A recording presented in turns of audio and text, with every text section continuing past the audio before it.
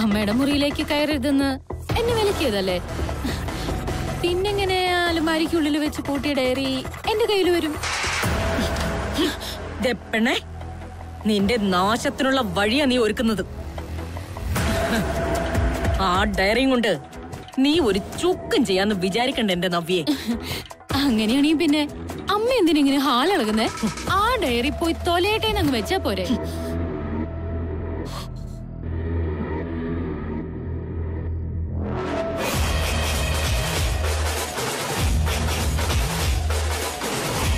അമ്മയുടെ മോൾ തന്നെയാ ഞാനും. അതോ ഇനി അതും മാറ്റി പറയണമെന്ന് അമ്മയ്ക്ക് തോന്നുന്നുണ്ടോ? ദേ നിന്റെ ഓവർ സ്മാർട്ട്നെസ് ഇങ്ങോട്ട് എടുക്കരുത് നമ്പിയെ അതത്ര നല്ലതിനാവില്ല.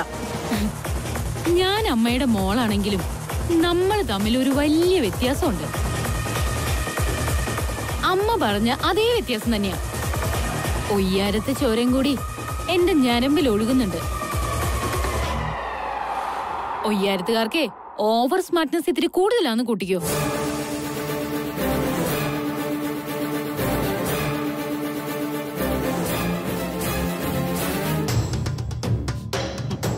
മോളെ അമ്മയുടെ ഭാഗത്ത് നിന്ന് പറ്റിപ്പോയ പാളിച്ചകൾ തിരുത്താൻ അമ്മ തയ്യാറാ. എന്ത് വേണമെന്ന് നീ പറഞ്ഞാ മതി.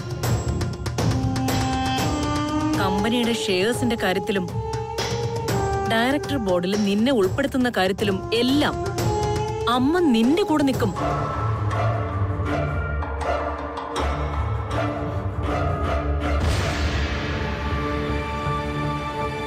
പൊന്നു മോൾ അമ്മ പറയുന്നതൊന്ന് കേക്ക്. എല്ലാം നമുക്ക് സംസാരിച്ച് വേണ്ടതുപോലെ തീരുമാനിക്കാം. ആ ഡയറി എന്റെ മോൾ അമ്മയ്ക്ക് തിരിച്ചു തരണം. ഇപ്പോഴെങ്കിലും അമ്മയ്ക്ക് ഇങ്ങനെ ഒരു മനമാറ്റം ഉണ്ടായതിൽ എനിക്ക് വളരെ സന്തോഷമുണ്ട് അമ്മേ. പക്ഷെ ഒരു പ്രശ്നമുണ്ട്. എനിക്ക് ഇപ്പോഴൊരു കാര്യം മനസ്സിലായിട്ടില്ല. ഇത് ഏത് ഡയറിയുടെ കാര്യം അമ്മ പറയുന്നേ? അങ്ങനെ ഒരു ഡയറിയെ കുറിച്ച് എനിക്കൊരു പിടിയില്ലല്ലോ.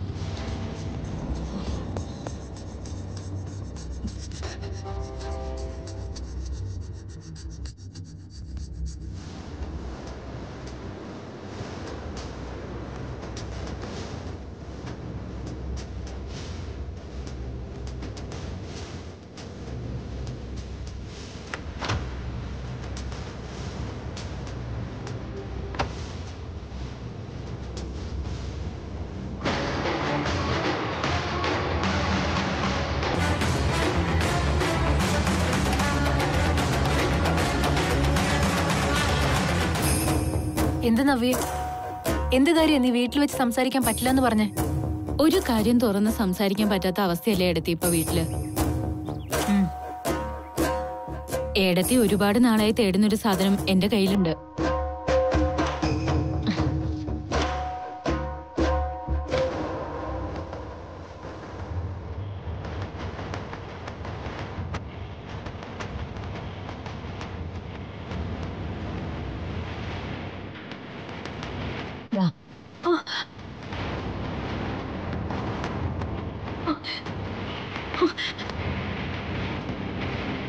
ഈശ്വരാ എനിക്കിത് വിശ്വസിക്കാൻ പറ്റുന്നില്ല.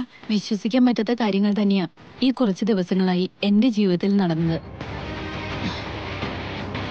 സ്വന്തം അമ്മ എന്നെ ശത്രുസ്ഥാനത്താക്കി നിർത്തിക്കളയുമെന്ന് ഞാൻ ഒരിക്കലും പ്രതീക്ഷിച്ചില്ല. ഗിരിയേട്ടന്റെ അച്ഛന്റെ ചോരയിൽ പിറന്നവരാണ് ഞാനും സനു എന്നതുകൊണ്ട് മാത്രം ഞങ്ങളെ അമ്മയ്ക്ക് വേണ്ടതായി. ഇത്രയും നാളും അമ്മയും നിതീഷേട്ടനും അമ്പിയങ്ങളും ഒക്കെ കൂടെ ചെയ്തു കൂട്ടിയ ഒരുപാട് അപരാധങ്ങളുണ്ട്. അച്ഛനോട് ചെയ്ത കണ്ണിൽ ചോരയില്ലാത്ത ക്രൂരത വരെ. ആ പാപങ്ങളുടെ പങ്കുപറ്റൻ അല്ലെങ്കിൽ ഞങ്ങൾക്ക് താല്പര്യമില്ല എടുത്തി. പക്ഷേ നിനക്ക് നിനക്കിത് എങ്ങനെ കിട്ടി? നീ ഇതെങ്ങനെ ഒപ്പിച്ചേ? എത്ര കാലം കഴിഞ്ഞാലും സത്യം മറന്നീക്കി പുറത്തു വരുമെന്ന് പറയുന്നത് എത്ര ശരിയാ ഇടത്തെ കാരണം ഇതെന്റെ കൈകളിൽ തിരിച്ചെത്തിച്ചത് ദൈവം തന്നെയാ.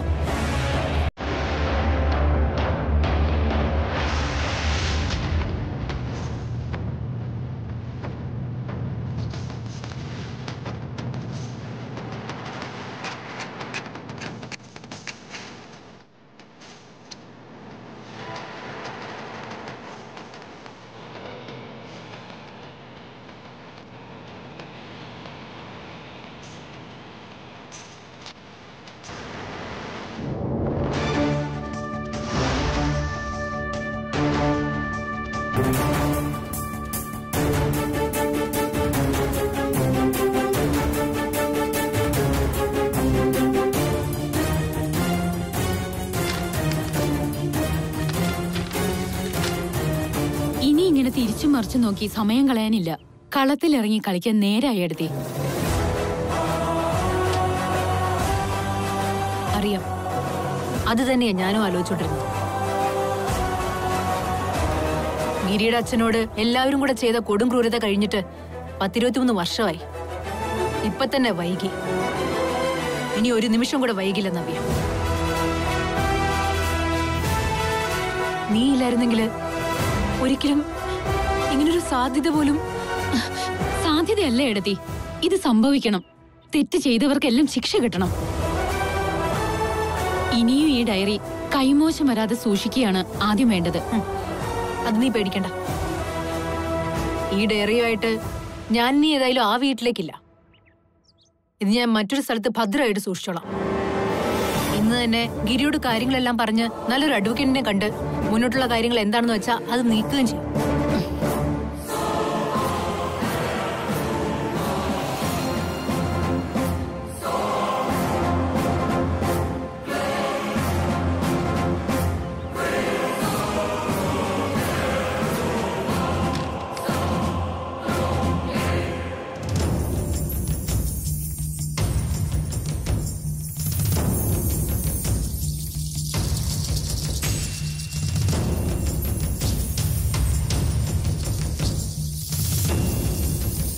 അനുരാധയുടെ പീഡനം കാരണോ അന്ന് ആ വീട് വിട്ടിറങ്ങിയത്? പക്ഷേ അത് പാടില്ലായിരുന്നു. ഞാൻ ഗിരിയുടെ അച്ഛനെ വിട്ടുപോകാൻ പാടില്ലായിരുന്നു. എങ്കിൽ അദ്ദേഹത്തിന് ഈ ഗതി വരില്ലായിരുന്നു. അമ്മ എങ്ങനെ സ്വയം കുറ്റപ്പെടുത്തണ്ട? അത്രയ്ക്ക് ദ്രോഹമല്ലേ അവരമ്മയോടും ചെയ്തത്? ആ സമയത്ത് അവരെ എതിർത്ത് പിടിച്ചു നിൽക്കാൻ അമ്മയ്ക്ക് സാധിക്കുമായിരുന്നില്ലെന്ന് എനിക്കറിയാം. എന്തായാലും ഈശ്വരൻ എന്തോ കണക്ക് കൂട്ടിയിട്ടുണ്ട്. അതുറപ്പാ. അല്ലെങ്കിൽ ഒരിക്കൽ കൈമോശം വന്ന ഈ ഡയറി വീണ്ടും നമ്മുടെ കയ്യിലെത്തില്ലല്ലോ. ഇനി നമ്മുടെ ഭാഗത്തുനിന്ന് യാതൊരു പാളിച്ചയും സംഭവിക്കാൻ പാടില്ല. എന്റെ അച്ഛനെ ഇല്ലാതാക്കിയവരെ എനിക്ക് നിയമത്തിന് മുന്നിൽ കൊണ്ടുവന്നേ പറ്റൂ. നമ്മൾ ഇനി എന്താ മോനെ ചെയ്യേണ്ടത്? പോലീസ് സ്റ്റേഷനിൽ പോണോമേ ആ സി ഐ മീര വർഗീസിനെ കണ്ട് ഈ ഡയറി അവരെ ഭദ്രമായി ഏൽപ്പിക്കണം. എടുത്തിയാടി ചെയ്യേണ്ട ഒരു കാര്യമല്ല ഇത്. നമ്മൾ ആദ്യം ഒരു നല്ല വക്കീലിനെ കാണുക വേണ്ടത്. ഇനിയും ഒട്ടും വെച്ച് വൈകിക്കാതെ കാര്യങ്ങൾ നീക്കണമെന്ന എന്റെ അഭിപ്രായം. ഒട്ടും വൈകുന്നില്ലമ്മേ. നാളെ തന്നെ ഒരു വക്കീലിനെ കാണണം. അതെ. എന്തായാലും ഇത്രയും വർഷങ്ങൾ അങ്ങ് പോയില്ലേ അമ്മേ? ഇന്നൊരു ദിവസം കൂടെ അങ്ങ് പോട്ടെ. ഇനി നമ്മൾ എടുക്കുന്ന തീരുമാനങ്ങൾ ശരി തന്നെയായിരിക്കണം. സത്യത്തിൽ ഇങ്ങനൊരു പരാതിയായിട്ട് കോടതിയെ സമീപിക്കേണ്ടത് ഗിരിയല്ല. ഇരുപത്തിമൂന്ന് വർഷം മുമ്പ് നടന്ന സ്വന്തം ഭർത്താവിന്റെ മരണത്തിൽ ദുരൂഹതയുണ്ടെന്നും അന്വേഷണം വേണമെന്നും പറഞ്ഞ് കേസ് കൊടുക്കേണ്ടത് അമ്മയാ നിങ്ങൾ എന്തു പറഞ്ഞാലും അതിന് ഞാൻ കൂടെയുണ്ട്. ഇവന്റെ അച്ഛനോട് ആ സ്ത്രീ ചെയ്ത ക്രൂരതകൾക്ക് അവരെണ്ണി എണ്ണി ശിക്ഷ ഏറ്റുവാങ്ങണം. എങ്കിലേ മരിച്ചുപോയ അദ്ദേഹത്തിന്റെ ആത്മാവിന് നിത്യശാന്തി കിട്ടൂ. അതിനുവേണ്ടി എന്തും ചെയ്യാൻ ഞാൻ തയ്യാറാ.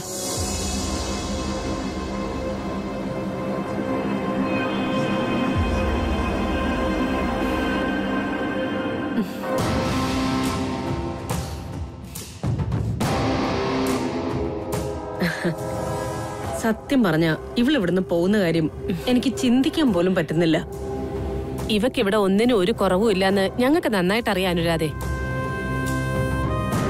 എന്നാലും മക്കളെ പ്രസവത്തിന് വീട്ടിലേക്ക് കൂട്ടിക്കൊണ്ടു പോകുന്നത് ഒരു നാട്ടു നടപ്പല്ലേ അതെ അതങ്ങനെ തന്നെ നടക്കട്ടെ. ഇല്ലെങ്കിൽ പിന്നെ ബന്ധുക്കളോട് സമാധാനം പറഞ്ഞു മടുക്കും. അമ്മ വിഷമിക്കണ്ട കേട്ടോ. മൂന്നാൽ മാസത്തെ കാര്യല്ലേ ഉള്ളൂ. അതെ അത് കഴിഞ്ഞ നന്ദു കുഞ്ഞ് ഇങ്ങോട്ടല്ലേ വരുന്നേ?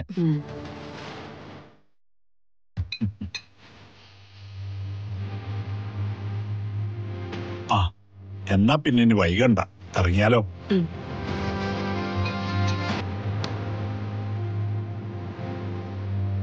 എല്ലാം എടുത്തോ മോളെ. എല്ലാം വണ്ടിയിലേക്ക് വെച്ചിട്ടുണ്ട്. വരും.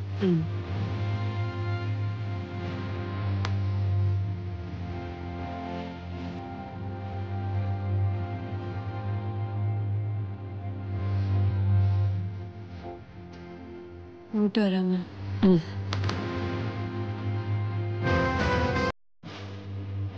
விசிட்டா சரி போயிட்டு வாங்க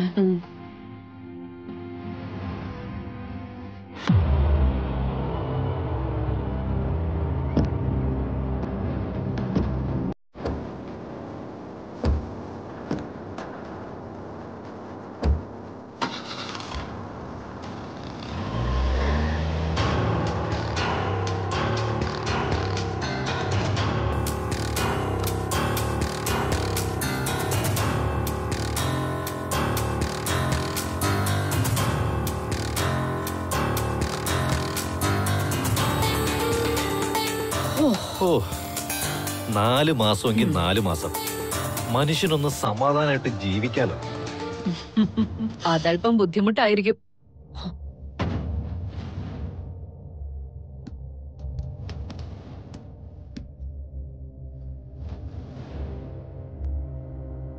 നിങ്ങളുടെ സമാധാനം കെടുത്തിയേക്കാവുന്ന ചില കാര്യങ്ങളുമായിട്ടാ ഞാൻ വന്നിരിക്കുന്നത് വരണം മാഡം. ഇരിക്കണം. ഇരിക്കും.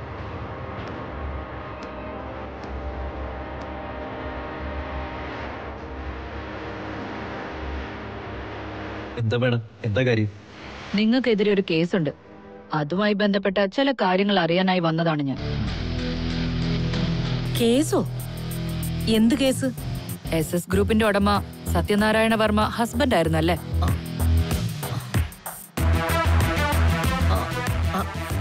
അതെ ആൾ മരണപ്പെട്ടിട്ട് ഇപ്പൊ എത്ര കൊല്ലമായി അച്ഛൻ മരിച്ചിട്ടിപ്പോ ഇരുപത്തിമൂന്ന് വർഷമാവും എന്താ മാഡം? എന്താ ഇപ്പൊ അതൊക്കെ ചോദിക്കാൻ? നിങ്ങളുടെ ഭർത്താവിന്റെ മരണത്തിൽ എന്തൊക്കെയോ ദുരൂഹതകളുണ്ടെന്ന് ചിലർക്കൊക്കെ സംശയമുണ്ട്. അതിന്റെ അടിസ്ഥാനത്തിൽ ഒരു പരാതി ഞങ്ങൾക്ക് കിട്ടിയിട്ടുണ്ട്. വാട്ട് നോൺസെൻസ് ആരാ മേഡം ഇതൊക്കെ പറഞ്ഞുണ്ടാക്കുന്നത്? ആർക്കാ സംശയം? മേഡം ആരാണ് ഈ പരാതി തന്നത്? അതൊന്നും ഞാൻ നിങ്ങളോട് ഡിസ്ക്ലോസ് ചെയ്യേണ്ട കാര്യങ്ങളല്ല. ഏതായാലും പരാതി കിട്ടിയ സ്ഥിതിക്ക് ഞങ്ങൾക്ക് അന്വേഷിക്കാതിരിക്കാൻ പറ്റില്ലല്ലോ. വിശദമായിട്ട് കുറെ കാര്യങ്ങൾ അറിയാനുണ്ട്. ചിലപ്പോ ഒന്ന് സ്റ്റേഷനിലേക്ക് വരേണ്ടി വരും. ഞാൻ അറിയിക്കാം. അപ്പൊ ശരി.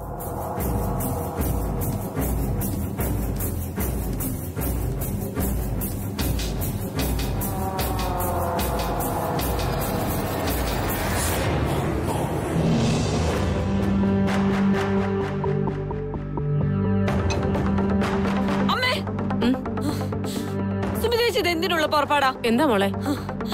ചേച്ചിക്ക് നിതീഷേനെ ദ്രോഹിച്ച് ഇനിയും മതിയായില്ലേ? നീ കാര്യം പറയും മോളെ. പഴയ ഏതോ കേസിന്റെ കാര്യം പറഞ്ഞ് പോലീസ് ഇപ്പൊ അവിടെ ചെന്നിരുന്നു വെച്ചാ.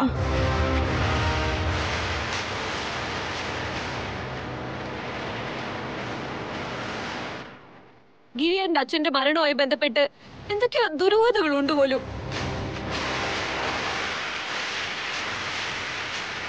നീ എന്തൊക്കെയാ മോളെ പറയുന്നത്?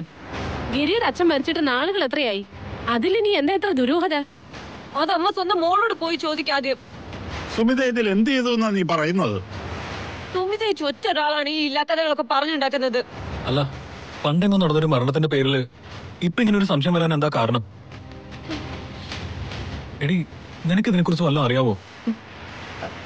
ആ അച്ഛന്റെ മരണത്തിൽ ഗിരിയേട്ടന് എന്തൊക്കെയോ സംശയങ്ങൾ ഉണ്ടായിരുന്നു ഗിരിയേട്ടനും സുബിതേടത്തെയും കുറച്ചു നാളായിട്ട് അതിന്റെ പിന്നാലെ ആയിരുന്നു.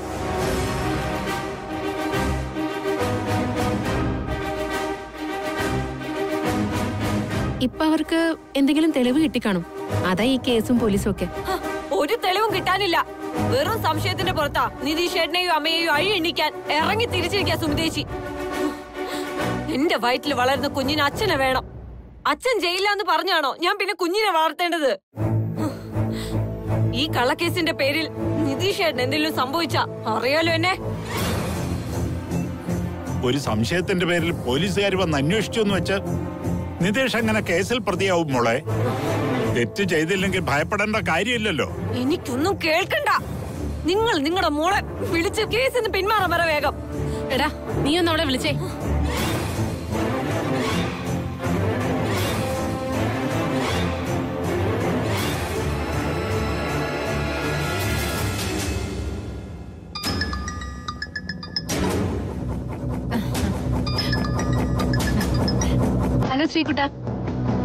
നാളായി നിന്റെ ശബ്ദം ഒന്ന് കേട്ടിട്ട്.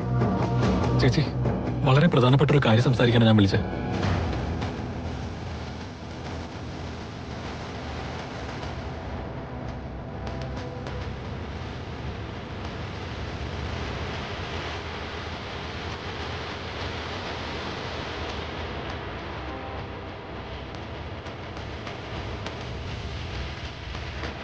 ചേച്ചി അത് നീ ആ ഫോണിങ്ങനെ ഞാൻ സംസാരിക്കാം.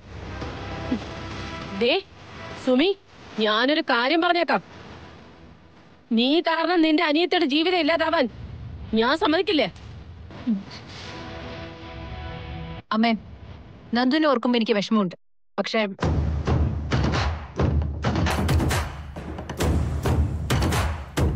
ഗിരിയുടെ അച്ഛനോട് അനുരാധയും നിധീഷും കാണിച്ച ക്രൂരതയ്ക്ക് മാപ്പില്ല.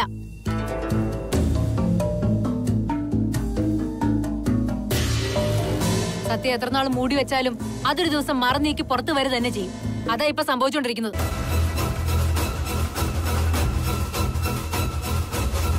അവരെ അമ്മയും മോനും കൂടെ ചെയ്തു കൂട്ടിയ പാപങ്ങളുടെ ശിക്ഷയാണ് ഇപ്പൊ അവരെ തേടി വന്നോണ്ടിരിക്കുന്നത്.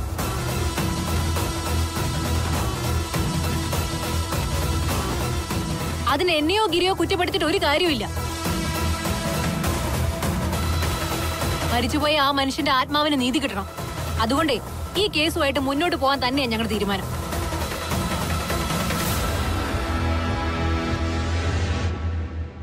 ഇനി ഇതും പറഞ്ഞ് ആരും എന്നെ അവിടെ നിന്ന് വിളിക്കണമെന്നില്ല. സുമി ഞാൻ പറയുന്നു. ഹലോ? ഹലോ?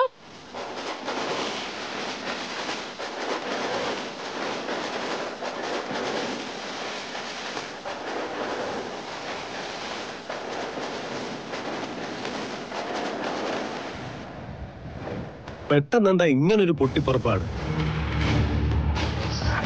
അല്ല ഇപ്പൊ ഈ കേസ് എങ്ങനെയാ പൊങ്ങി വന്നത്?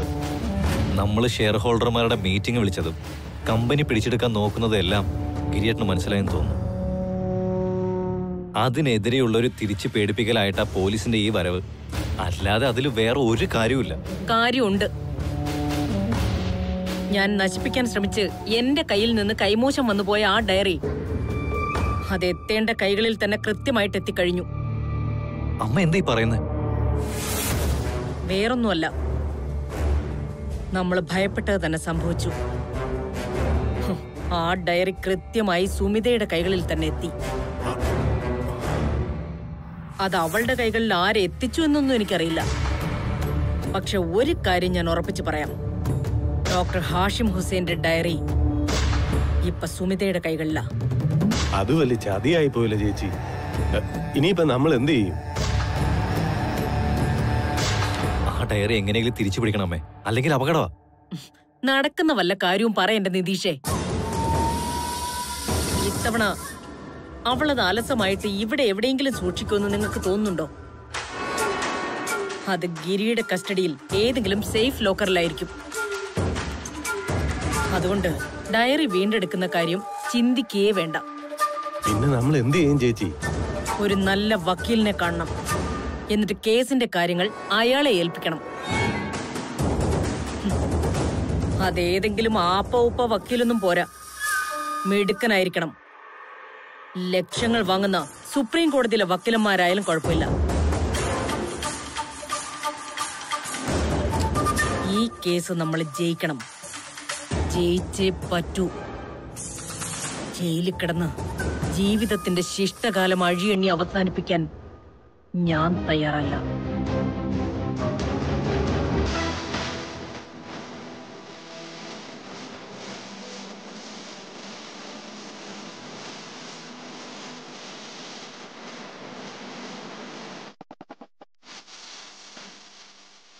അനുരാധയും മകനും ചെയ്ത കാര്യങ്ങളൊക്കെ തീയതി സഹിതം ഇതിൽ പറയുന്നുണ്ടല്ലോ. സ്ട്രോങ് എവിഡൻസ് ആണ്. ഒരു ടെൻഷനും വേണ്ട. അപ്പൊ കേസ് നമ്മൾ ജയിക്കാനുള്ള സാധ്യത ഉണ്ടല്ലേ വക്കീലെ? ഇതിൽ ഈ പറഞ്ഞിരിക്കുന്ന കാശി ഇടപാടുകളും ആശുപത്രിയിൽ നടന്ന കാര്യങ്ങളും ഒക്കെ ശരിക്ക് സംഭവിച്ചത് തന്നെയാണെന്ന് തെളിയിച്ചാൽ കേസ് പുഷ്പം പോലെ വിജയിക്കും. പക്ഷെ അതിന് നമുക്ക് കഴിയണം. അതിനെന്താ വേണ്ടത്? ഈ ഡയറിയിൽ പറഞ്ഞിരിക്കുന്ന തീയതികൾ വെച്ച് ബാങ്കിൽ നിന്നും ആശുപത്രിയിൽ നിന്നുള്ള റെക്കോർഡ്സ് കളക്ട് ചെയ്യണം. അല്ല ഇനിയിപ്പോ ഒരുപാട് കാലം മുമ്പ് നടന്ന സംഭവമായതുകൊണ്ട് ഹേയ് അതിനൊന്നും കാര്യമില്ല. ഇതിനേക്കാൾ പഴയ സംഭവങ്ങൾ വരെ കാലങ്ങൾക്ക് ശേഷം തെളിയിക്കപ്പെട്ടിരിക്കുന്നു. വർഷങ്ങൾക്ക് മുമ്പ് വയനാട്ടിലെ കാട്ടിൽ വെച്ച് പോലീസിന്റെ ഏറ്റുമുട്ടൽ മരിച്ച നക്സലേറ്റിനെ പറ്റി നിങ്ങൾ കേട്ടിട്ടില്ലേ? പിന്നീട് ഒരു പോലീസുകാരന്റെ മൊഴിയുടെ ബലത്തിന് മാത്രം അത് കൊലപാതകമാണെന്ന് തെളിഞ്ഞില്ലേ? അതിന് ഉത്തരവാദികളായ പ്രതികളെ എല്ലാം കോടതി ശിക്ഷിക്കുകയും ചെയ്തു. അത് എത്ര കാലം കഴിഞ്ഞിട്ടാ. ഇത്രയും ശക്തമായ തെളിവുകളുള്ളപ്പോ നമ്മൾ എന്തിനു പേടിക്കണം? നിങ്ങൾ ധൈര്യമായിട്ടിരിക്കെ. അന്തിമ വിജയം നമുക്ക് തന്നെയായിരിക്കും.